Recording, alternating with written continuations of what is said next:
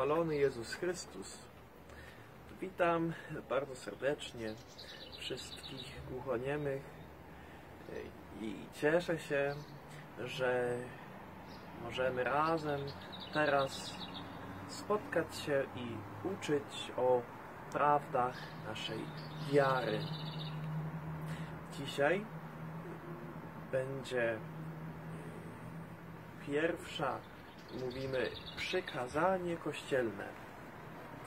To są przykazania, słowa, które papież, biskupi mówią dla ludzi, aby ludzie dobrze żyli i wierzyli.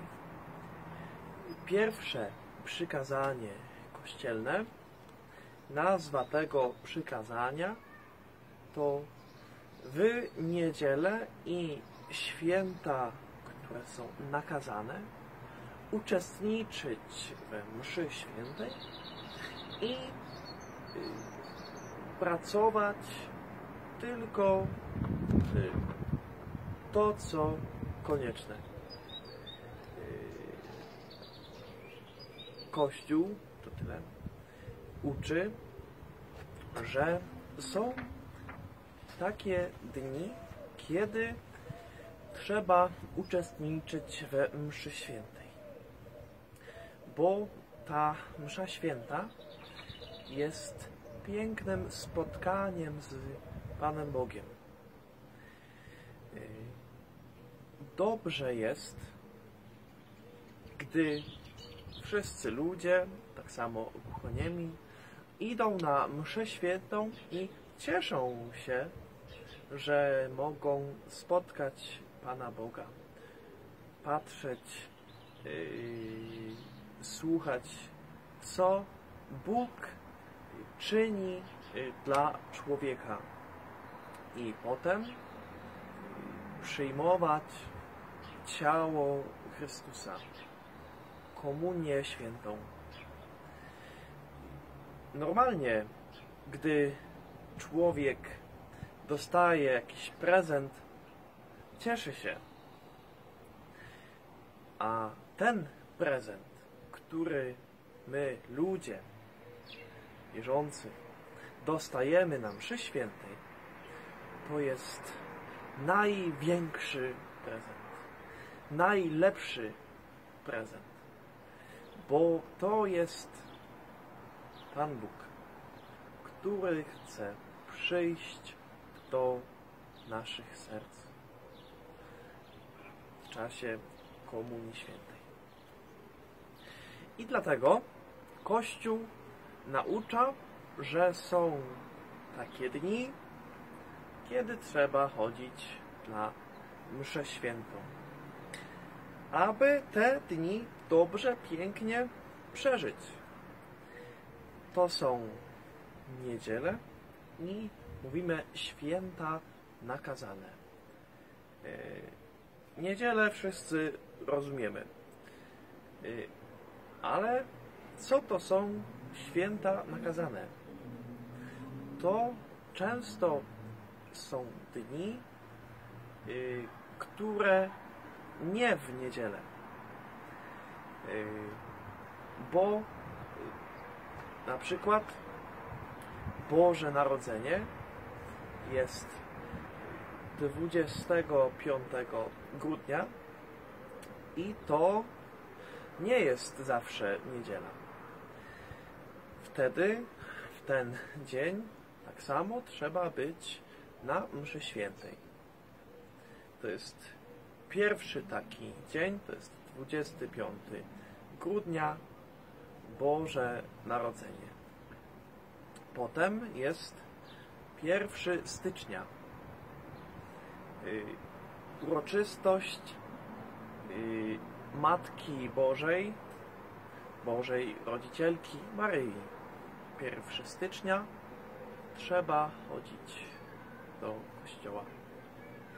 Potem jest 6 stycznia. Uroczystość objawienia pańskiego. Mówimy normalnie uroczystość Trzech Króli. To jest 6 stycznia. Czyli blisko siebie trzy dni wielkie, to jest 25 grudnia, 1 stycznia, stycznia i 6 stycznia. Potem jest uroczystość Najświętszego ciała i krwi Pana Jezusa. Mówimy inaczej Boże Ciało. To jest y, dzień zawsze w czwartek po y, uroczystości Trójcy. Trójcy y, Świętej. To jest maj albo czerwiec. Czerwiec. Potem jest uroczystość niebo wzięcia Najświętszej Maryi Panny. To jest zawsze 15 sierpnia. Y, potem y, na koniec roku, blisko końca, jest uroczystość wszystkich ludzi świętych. To jest 1 listopada. Razem sześć dni, kiedy trzeba obowiąz trzeba nakazane iść na mszę świętą i te dni nie zawsze są niedziela. Równo to przykazanie kościelne mówi, aby być na mszy świętej w każdą niedzielę i te sześć e, dni.